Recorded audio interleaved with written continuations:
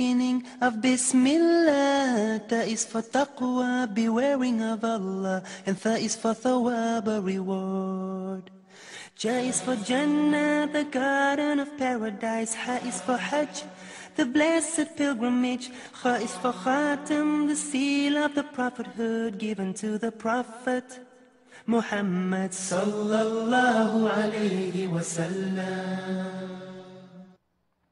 بسم الله الرحمن الرحيم الحمد لله رب العالمين وصلى الله وسلم وبارك على عبده ورسوله نبينا محمد وعلى آله وصحبه أجمعين أما بعد Dear brothers and sisters in Islam Assalamu alaikum wa rahmatullahi wa barakatuh and welcome to this new episode of Ask Zad coming to you live from Zad Studios.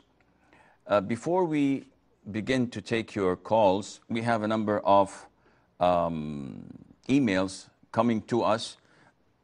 The first email is from Sultana, and she says, If someone walks on the carpet with their shoes on, has that place become najis if I want to pray there? Now, when we would like to talk a little bit about this so that people would have sufficient knowledge because such questions are so basic and it is a fard, it is mandatory upon you as a believer, as a Muslim, to know these issues of purity, of tahara, of when to pray and when not to pray. This is basics, ABC of Islam.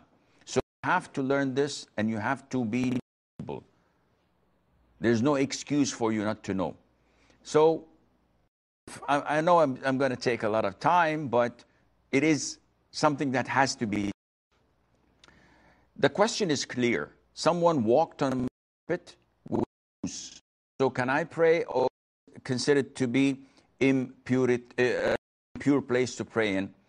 Definition of impurity. Impurity is known in Arabic as najasa, and it refers to the physical impurity because we have sentimental, moral impurity, which, which is something different. We're not going to talk about that. But physical is urine of human beings or of animals that we cannot and we're not allowed to eat their meat. The, the urine, the uh, uh, um, the menstrual blood of human beings, or the, menis- uh, um, the blood of animals that we're not allowed to eat the meat, or the blood that is running or gushing when slaughtering from a halal animal. These are the things that are known as najasa, physical. Want to pray, one of the conditions of prayer is that my body, my clothes, and the area I'm praying does not have any najasa. Is that people mix up najasa with something that is dirty.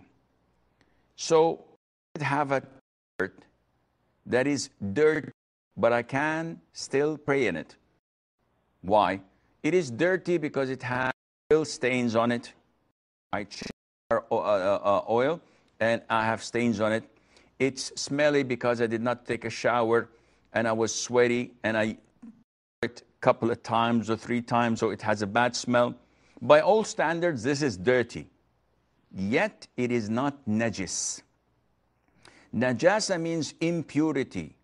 And I could have a clean dress, a clean thobe, a clean shirt, but it has a tiny, minute drop of urine that renders it to be najis. I cannot pray, and if I pray, my prayer is invalid. Combine this with the hadith of the Prophet ﷺ, where he said that Allah has made the earth, the ground, for me a, a means of purification, that is through tayammum, and a place to pray. So whenever a person has to pray, can pray anywhere. And with the hadith of the Prophet ﷺ, when he said, pray in your sandals. And whenever one of you wants to pray in his sandals, he should look at it, meaning at the soil, to ensure that there is no impurity and then this is with your shoes on, with your sandals on, providing that there are no najasa apparent on. All these previously said, if you come to the carpet house, walked with his boots, left traces of sand or, or, or soil or dust or whatever, do I see any visible najasa?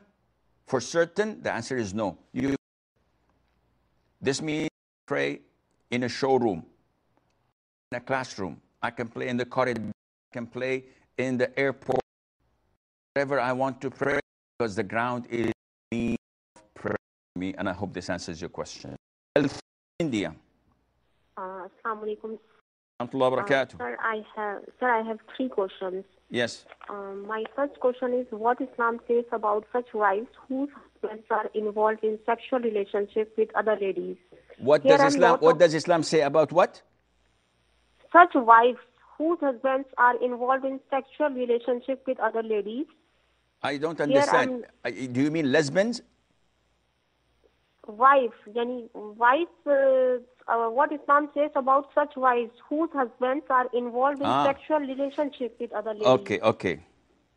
Uh, here I'm talking about they accept by themselves about sexual relationship openly in front of wife or somehow wife get to know then she asks from husband then he do tawbah ask wife to give him chance wife forgive him for the sake of Allah and children but he keep doing same sin repeatedly because of the addiction he doesn't ready to leave this habit so how can a wife forgive again and again how can she live with such husband under same roof where wife knows her husband has relationship with other ladies?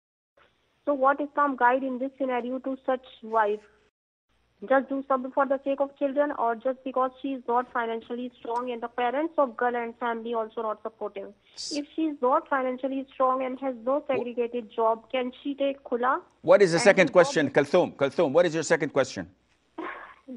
Okay, sir. My second question is about dua. Like, if I'm making dua for someone in salah, in sujood, or out of the salah, so is it must uh, to mention his or her name? Like, if I want to make dua for my friend's easiness, so during salah in sujood, or out of the salah, must I have to utter her name? Uttering name of the person for whom you are making dua is must to acceptance of dua number or three. chances of Number three. uh, third question is about kafara. Like how many types of kafaras are there in Islam and for what things and what they are? Kafara. Like how many types of kafaras are there in Islam and for what things and what they are? Like I know few kafara of during intercourse in Ramadan. Okay. Kafara of breaking out on vow, vow. Kafara of error in Hajj or Umrah. Kafara of killing human being. And kafara of abortion. Is there any other kafara also except the above mentioned? Okay, I will answer your questions, inshallah. And for having patience to listen my long list of questions. Barakallah fiki. Uh, Kalthum from India says that what is the ruling on husbands frequently cheating on their wives, being addicted to having affairs, and the wife forgives and he returns over and over again? What to do? You do not have a one size fits all answer. It all depends.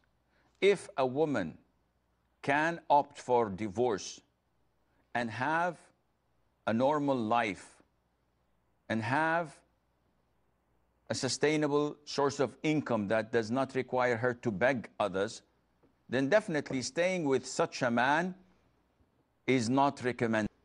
Because such men, first of all, do not fear Allah. Second of all, a woman is afraid that he may catch and transmit to her uh, uh, um, any disease, STD, for example. So, for her own safety, she has to refrain from having intimacy with him because this guy is bad news.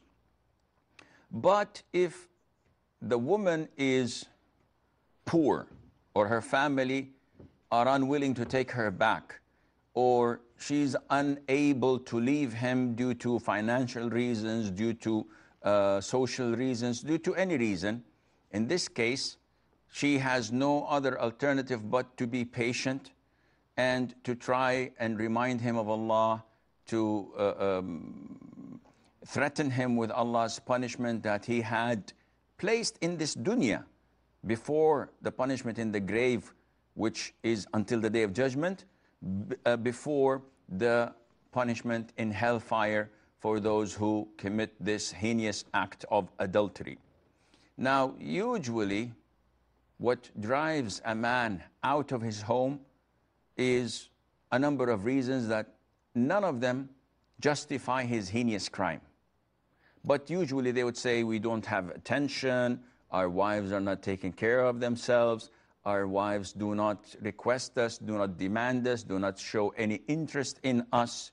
So we look for it somewhere else. And this is a lame excuse and a justification that is worth not even the ink that it was written uh, uh, in. Because the woman can say the same. Does this justify her committing the act of adultery as well? Of course not. So he is sinful. He's committing a major sin without any doubt in it. But if the woman sees that there is a chance and a room for uh, uh, reconciliation, she's advised to take care of herself really well. If she's fat, she has to get her act together. She has to work out, go on a diet, slim up again so that she would be pleasant for him to see. And not only that, she should exhaust him physically in bed every single night or more so that he wouldn't be even able to think about committing haram acts, let alone go and have relationships. And maybe with a lot of dua in sujood and asking Allah Azza to return him back to her, inshallah, there will be a way out. Second question of Kulthum is can we supplicate to someone without mentioning his name? The answer is yes, but when I hear such questions, what comes up to my mind is how lazy we are when it comes to things that we beg from Allah Azza wa. For example, people come and say, I make ruqya. So I recite the three qul, قل هو الله أحد قل أعوذ برب الفلق قل أعوذ برب الناس. Do I have to say bismillah in the beginning? Subhanallah, the guy has jinn. He's got black magic, he's got envy or an evil eye. He wants and he needs Allah Azza wa to save him and cure him. Yet he's lazy to do the simple task of saying Bismillahir Rahmanir Rahim. And you want to make dua for a dear friend or a relative or someone you love and care about. You find it difficult and time consuming to say, Oh Allah, guide Abdullah to do whatever you, uh, uh, you like, or guide Abdullah to uh, uh, pray five times a day. You just want to say, guide him? This is not logical, but because the question is, as you had heard, the answer is yes. If you use a pronoun and you refer to him by uh, um, uh, him or whatever, this is permissible, yet it is not uh, as best. The third question is a question that might need some thinking. She asked, What is the ruling on, or what are the different types of kafarat, expiations? So we have the expiation of oath, feeding or clothing 10 uh, poor people, uh, or uh, freeing a slave.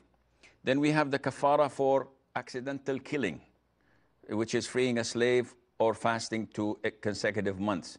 We have the kafara for intercourse during the daytime of Ramadan, freeing a slave or um, fasting two consecutive months or feeding 60 poor people if one is unable to do them uh, in order.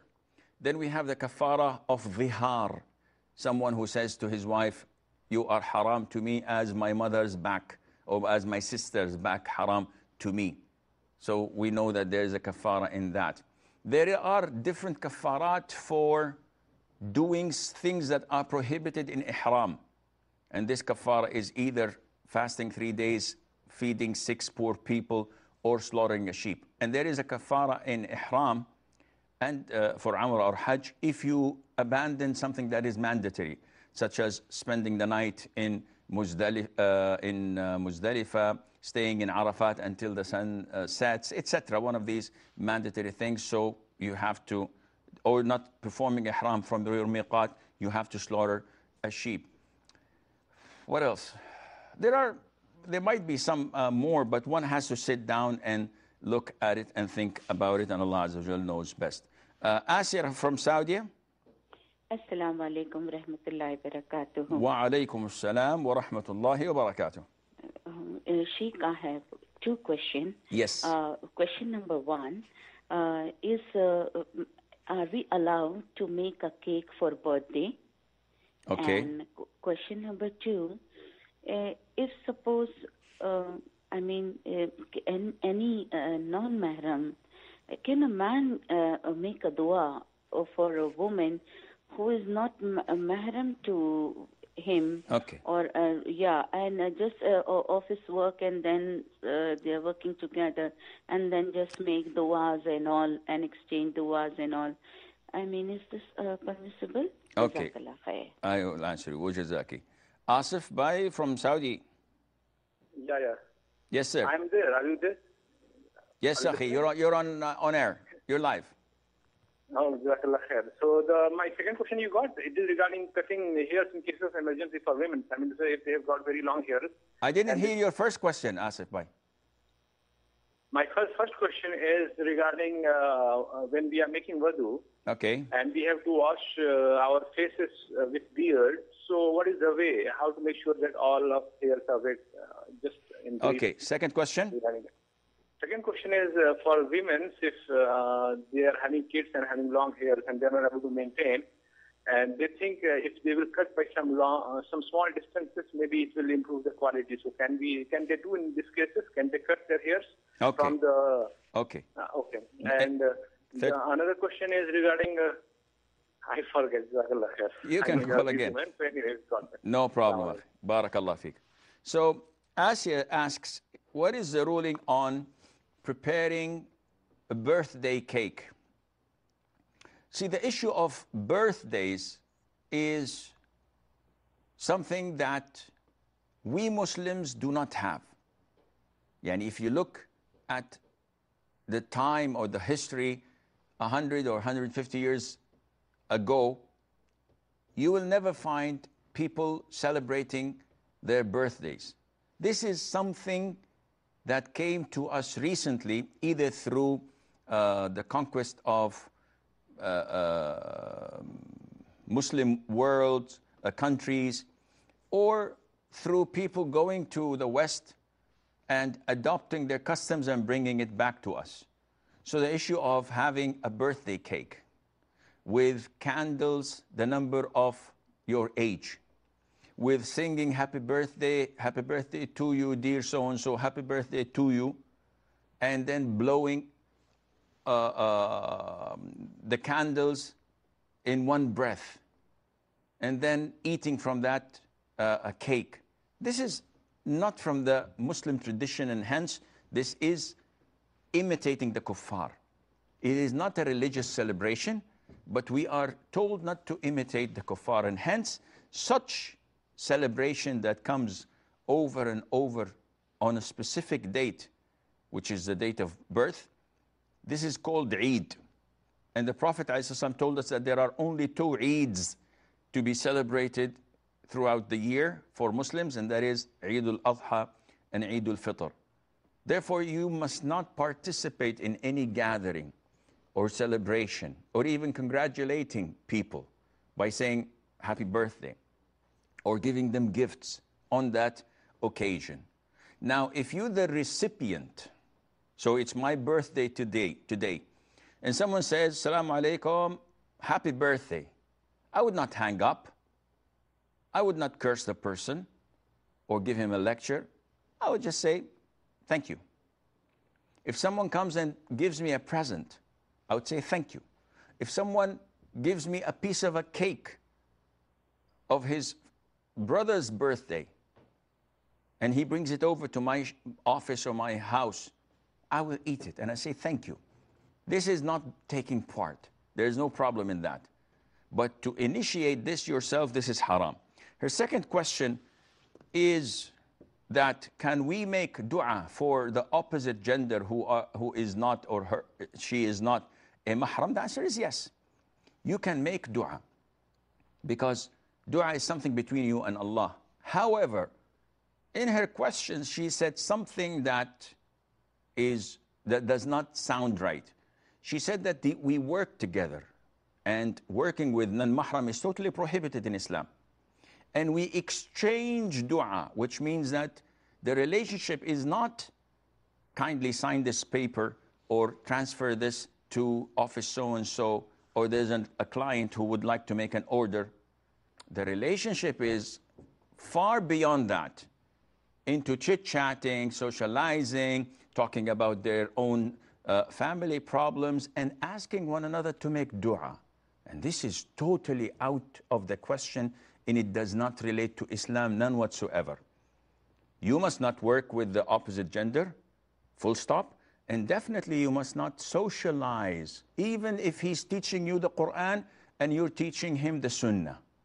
This is totally prohibited in one of the easiest doors for shaitan, for Satan to enter from. And believe me, I have stories. May Allah have mercy upon us all stories that would make a child hair white because of such tricks of that Satan plays uh, uh, over people like this and convince them that this is all for the sake of Allah and, and end up having these illicit uh, relationships. Asif says, how to wash the beard when I'm performing wudu? One of two. Either your beard is thick and you cannot see the skin. And in this case, washing the face once, twice, or thrice, and then put water in your hand and just try to, it, with that one scoop of water, get as much as possible to your beard. This is what the Prophet used to do, alayhi The second uh, uh, beard or type is when your beard is thin and you actually can't see uh, the skin underneath and it's very short.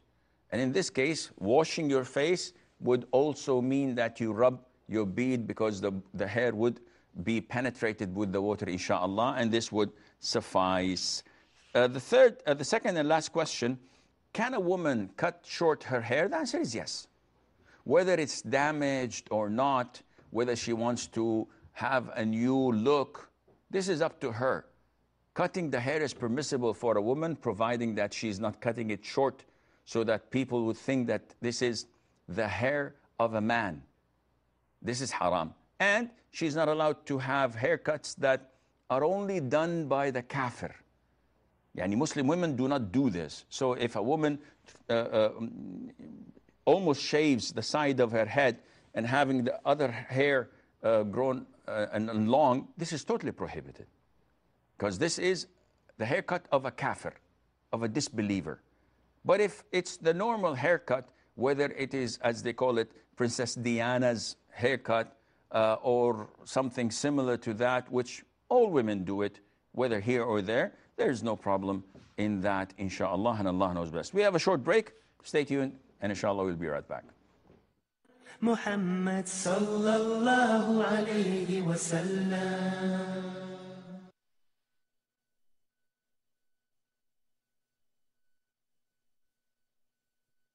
Assalamu alaikum wa rahmatullahi wa barakatuh. Today I'm going to talk about the book Interactions of the Greatest Leader. Abu Huraira radiyallahu anhu said, that a man came to the Prophet of Allah sallallahu alaihi wasallam and said, O Messenger of Allah, poverty has struck me. The Prophet of Allah sallallahu alaihi wasallam sent a messenger to one of his wives to bring something for that man to eat. But she said, By the one who sent you with the truth, I only have water. He sallallahu alaihi wasallam sent to another one of his wives to bring something for the man to eat. But she said the same, until all of them said the same thing. Then Allah's Messenger وسلم, said, Who will take this one as a guest in exchange for Allah's mercy? A man from the Ansar said, I will, O Messenger of Allah. So he took the man to his home and said to his wife, treat the guest of the Messenger of Allah well. She said, by Allah, we have nothing except the meal for my children. He said, Get the food ready and light the lamp and put your children to sleep. If they ask for dinner, then when the guest enters, dim the lamp and make it seem as if we are eating. And when he reaches for the food to eat, then stand up to the lantern and turn it off. She got the food ready, turned the lamp on, and put the children to sleep. She then went to the lamp as if she was fixing it and turned it off. Then they pretended as they were eating, and they both went to sleep hungry. In the morning, the man from the Ansar went to Allah's Messenger sallallahu alaihi wasallam, who said, Allah has laughed, implying his acceptance to the deed from your actions last night. Then Allah revealed His saying, which means, and they give them preference over themselves, even though they were in need of that. Reported by Al Bukhari and Muslim. محمد صلى الله عليه وسلم Assalamu alaikum wa rahmatullahi wa barakatuh and welcome back. Um, let us see what emails do we have. We have uh, um, an email from Hira and she and he or she, I don't know, says that is it okay to work in an Islamic window of conventional banks if all of its operations are independent of the conventional bank and not controlled by conventional heads? The answer is yes, this is permissible. And how to look at this? A conventional bank, such as Citibank, Barclays, uh, um, HSBC, whatever, they are riba-based bank. It is totally prohibited to work for them because they lend in with interest and they borrow with interest, whether in the department, whether in the credit or whether in the financing, it's all haram. But some of them would have a branch headed by a banker with Islamic banking experience, and they allocate the money deposit when they open a bank account. They allocate deposit when they open a bank account. They allocate it in a separate account that does not mix with the conventional bank. And they go even further to rent their own premises from their own money and their own transactions. And they have these Islamic windows, meaning that all the transactions, whether it's financing, it's selling in installments, uh, um, uh, letter of credit, etc., all of this is under the Sharia board rulings that gives them the green light to do these things. So if this is the case and it's totally independent from the conventional bank and the transactions are okay, then inshallah it is halal to work there. Hamna says having dogs is haram as a pet, but is it allowed to be a a veterinarian? I think this is what they call a vet, and check a dog and touch it? The answer is yes. A dog is a an animal, it's a living creature. And we are told that a prostitute was forgiven all of her sins just because she provided drinking water to a thirsty dog. So, being kind to dogs has nothing to do with having them as pets. Keeping them as pets is totally prohibited. It deducts from your good deeds the weight of one carat, which is equivalent to the mountain of Uhud of good deeds. Just because you have one, a dog, and this is every single day. But to be a vet, and people bring their dogs, and you look whether they need vaccinations or they need any uh, medical assistance, and you provide this, this is totally legit and, and, and permissible. There's nothing wrong in that, inshallah. Asia from Saudi. Assalamu alaikum, Sheikh. Salam rahmatullah. Uh, uh, Sheikh, uh, sorry to call you again, disturb you. I just wanted to ask uh, the person is asking uh, whether it is allowed to, I mean, make a wedding cake. Eh, I mean, wedding wedding cake is also not allowed uh, because she is making a wedding cake and selling the wedding cake. Okay. So is this allowed? And uh, regarding that uh, making dua for non-mahram in that office, eh, I myself is not doing sheikh. La hawla wala quwwata. Alhamdulillah. But there is yes, yeah. Allah, Allah protect me from all these things. eh, uh, um, I mean, but there in this Saudi Arabia in this Jeddah only, uh, I, this child thing is happening and I have seen this and very close uh, person is doing this and then when I, I told them not to do it they are saying you're going to extremism dua is for anyone you can make a kafir also when so what's there I mean you're going towards ex- extremism that's why I just wanted to confirm whether I'm extremist or Okay. Jazakallah. Wajazak. Uh, Asia's question uh, regarding wedding cake. Now, a wedding cake is something totally different. Why is a birthday cake haram? We've explained this before the break because this is imitating the West. A cake for your weddings, a cake for your child passing the exams, a cake for your uh, husband coming out of hospital after uh, passing and having an operation that was successful. All of these are permissible. There's nothing wrong in that, unless your husband is diabetic, then stay away from cakes. But to do these things, this is not something that is being a celebration we are told not to uh, have. Yani for example, if one wants to make a cake for an anniversary, we say that this is not uh, legit um, because anniversaries are not part of Islam.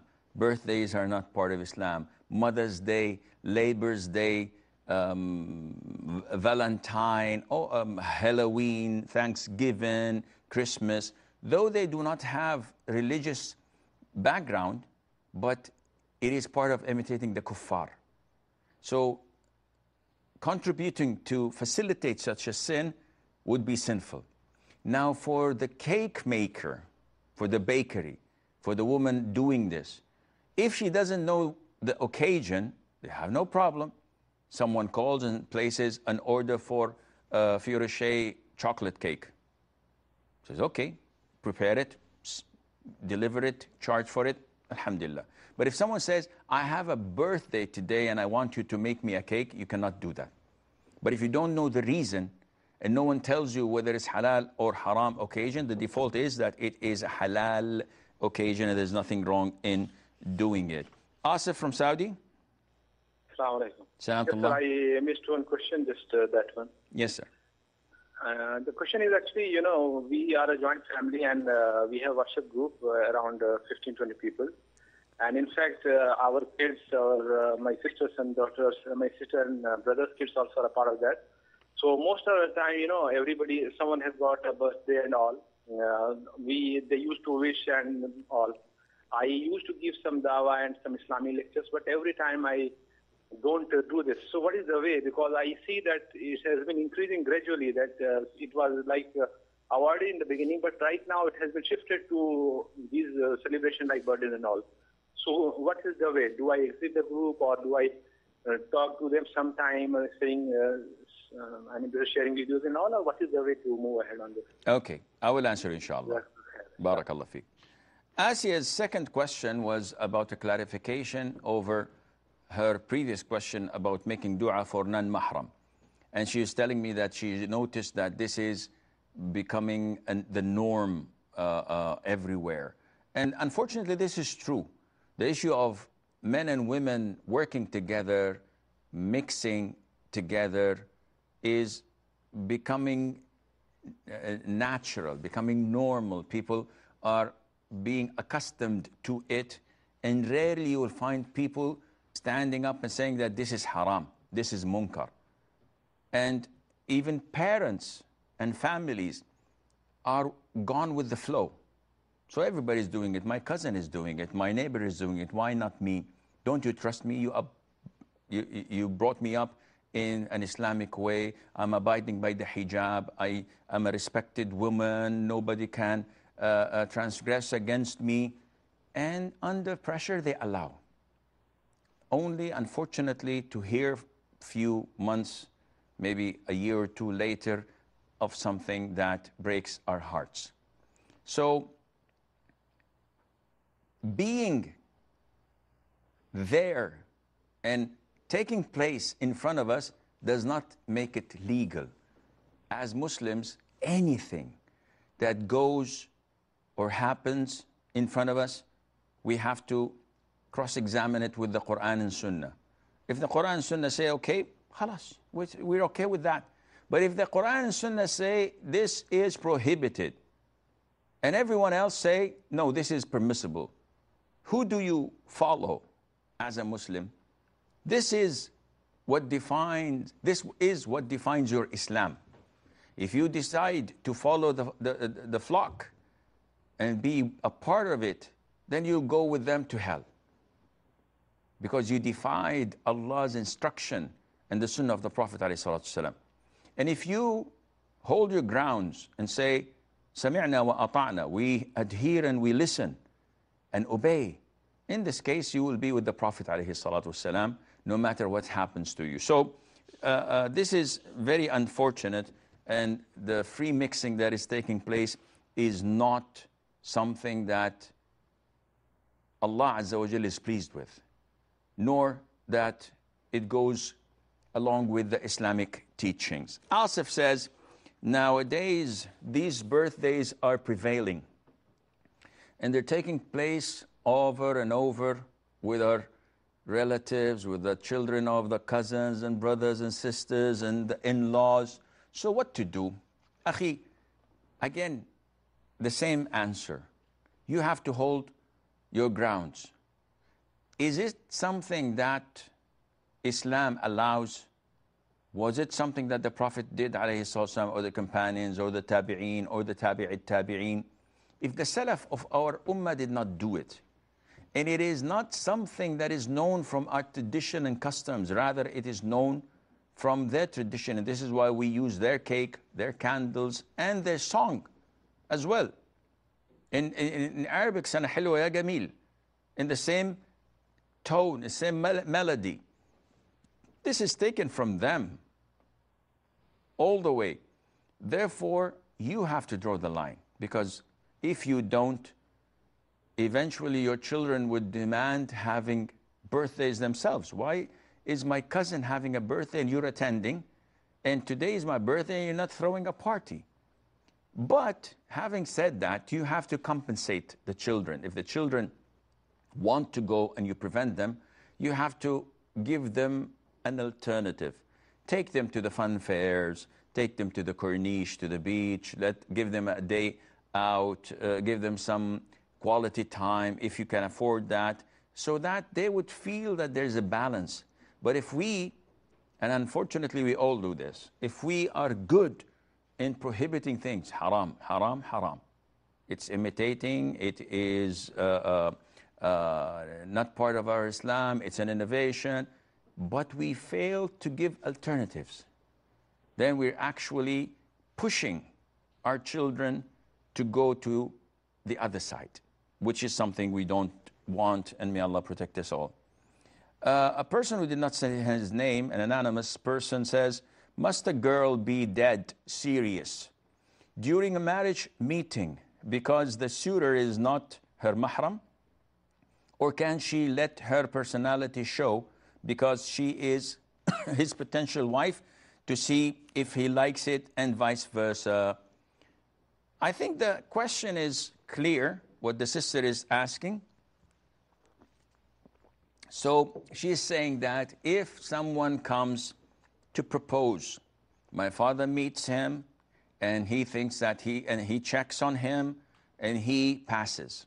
So my father arranges for a meeting, which is an interview, which is part of the sunnah, where the girl gets to look at the boy, the boy gets to look at the girl, and they're not ordered to lower their gaze, rather, they're ordered to look and take a good look and talk for an hour or so just to try to find means and ways of liking one another in order to proceed with the marriage or proposal or to decline.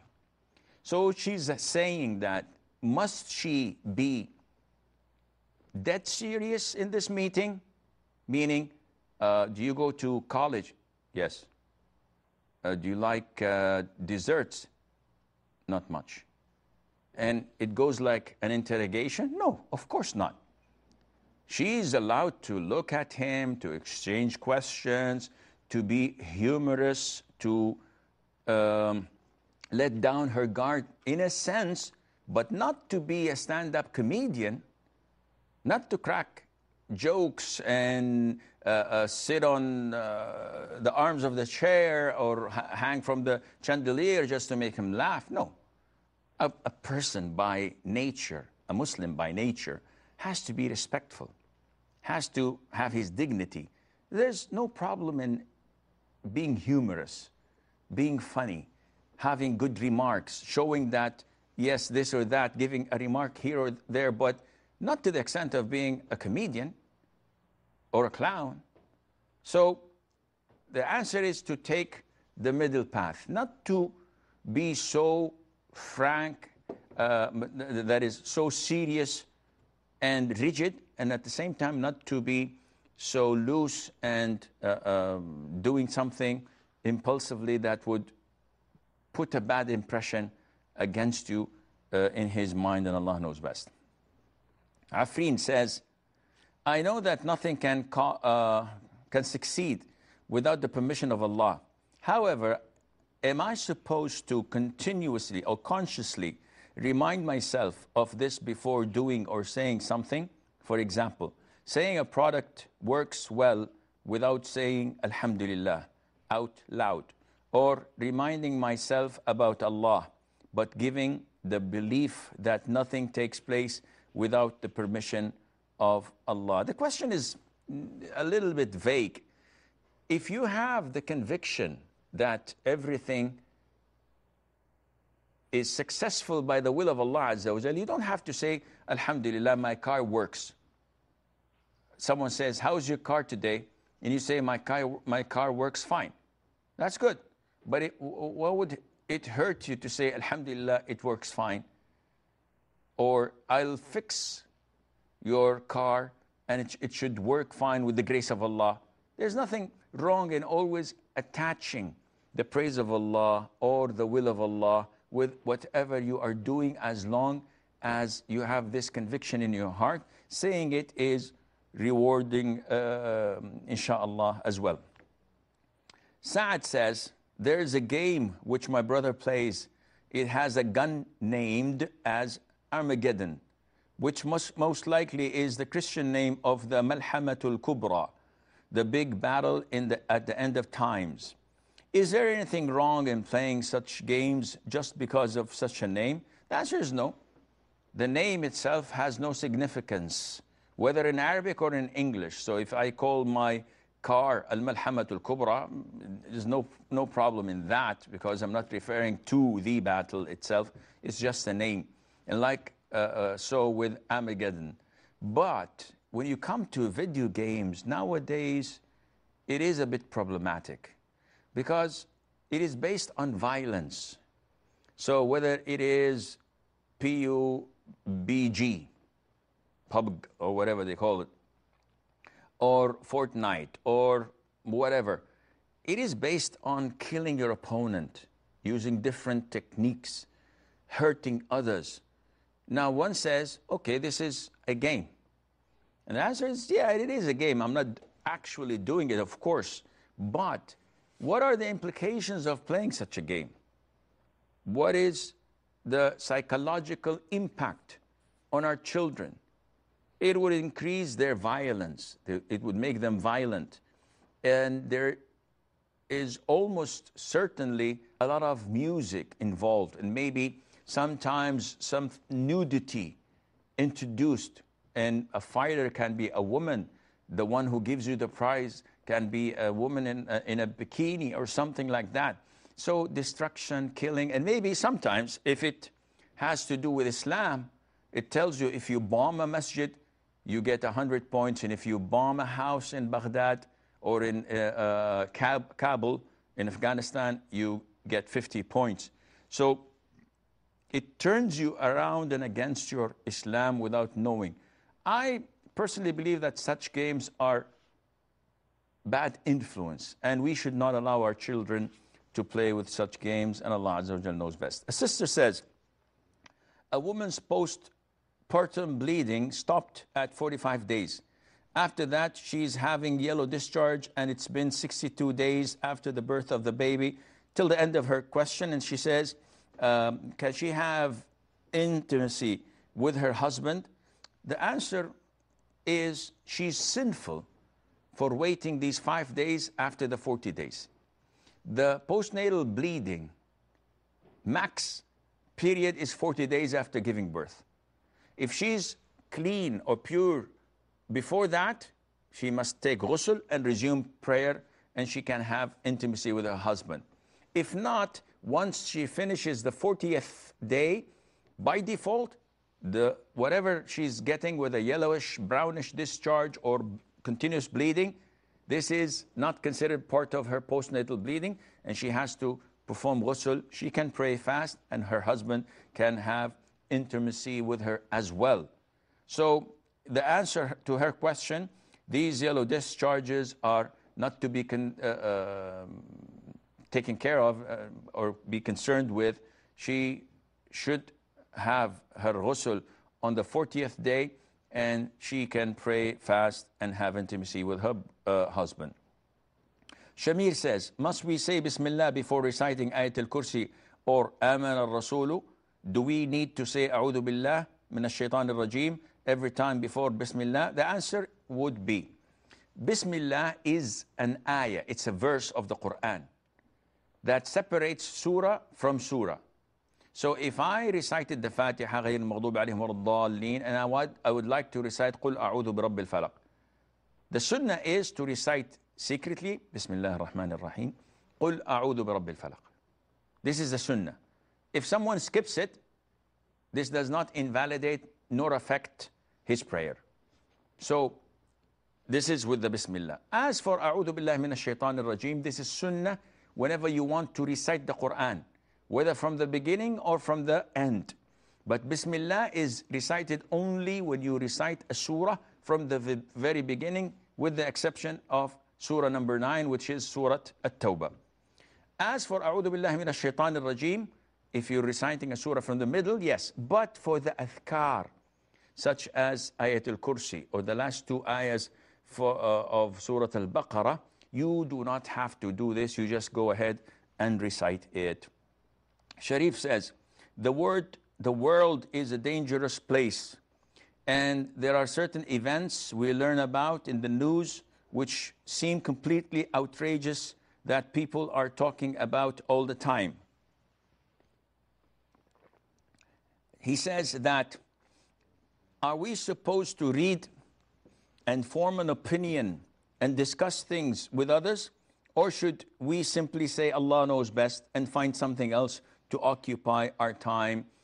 Definitely, occupying yourself with something that is beneficial is more uh, uh, advisable and it's better than talking about news that you have not seen, you've not been there, and you only took it from dubious sources like the CNN, the BBC, etc. So, how would I base my knowledge over something through their eyes. And I know that they are habitual liars. I cannot trust them. And why would I trust them? Am I going to hold something accountable for something? This is not my business. So focus on what benefits you because Allah on the day of judgment will not ask you, why didn't you form an opinion about so and so event that took place here or there, Allah will not ask you about this. But Allah will indeed ask you, why did you say what you had said about a specific Muslim or a country or a group and you had no knowledge, you were not a witness, you were not involved, it's all hearsay. The Prophet said, عليه الصلاة والسلام, كفى بالمرء إثما أن يحدث بكل ما سمع. It is sufficient sin upon you to just relay and repeat what you had heard. This is sufficient sin. You don't need any more sins to be punished on the day of judgment. This is a serious issue that people should learn how to keep a lid on it. Fatima says, is it permissible to own and use backpack that has animals on it? The picture of animals, if it's a drawing, then you should not keep it and you should dispose of it. It's, if it's just a photograph, a real photograph, not Photoshop uh, uh, and, and not uh, change or, or, or edited, there's no problem in uh, having such a bag. To stay away just to be safe rather than sorry is better. A sister says, I'm getting married soon, but I don't have a father. So she, in, in, in short, is her brother, who is a cousin, legible to be uh, her guardian, his brother through suckling. If she has no blood relatives except this cousin, and he is a paternal cousin, not a maternal, so he is having and carrying the same name, then yes, he is her guardian. Suckling has nothing to do with it. If he is from her mother's side, in this case, no, he cannot be her guardian, and her guardian must be the Muslim ruler, if not the Muslim judge, if not, then the authorized Imam of the Islamic Center. Mehwish says, can you please explain the step-by-step -step process of how to make ghusl and how to make the quickest ghusl? Can we do quick ghusl if we want purity, uh, to purify ourselves from menses? The answer is yes. Ghusl is one, which is to intend to uplift the major ritual impurity by covering your whole body with water and turning the water in your mouth and rinsing your nose. So the sunnah way is to first of all wash your hands three times, wash your private part, then wash your hand again with a detergent so that no najasa is there.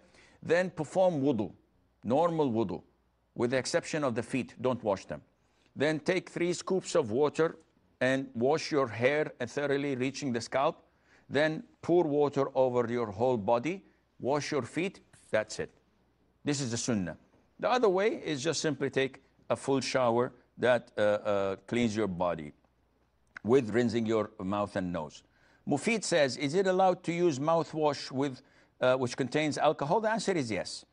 And finally, sister says, I'm 32 years old.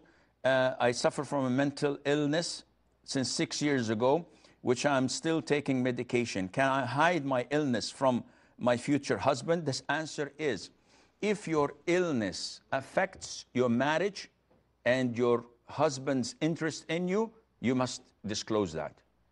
So if it's an illness that is diminishing and going away, it doesn't affect your household work, it doesn't affect you uh, when it comes in regards of intimacy or dealing with the husband, then you don't have to tell him. But if it's something that touches the core of the marriage, and he would be feeling cheated not to have known, and it would affect your relationships, in this case, you must disclose that and tell him, and Allah Azza wa knows best. This is all the time we have. Until we meet same time next week, I leave you في أمان الله والسلام عليكم ورحمة الله وبركاته. Eyes for Allah, nothing but Allah. Ba is the beginning of Bismillah. Ta is for taqwa, bewaring of Allah. And Tha is for thawab, a reward. Ja is for Jannah, the garden of paradise. Ha is for Hajj, the blessed pilgrimage. Kha is for Khatam, the seal of the prophethood given to the prophet. Muhammad sallallahu alayhi wa sallam.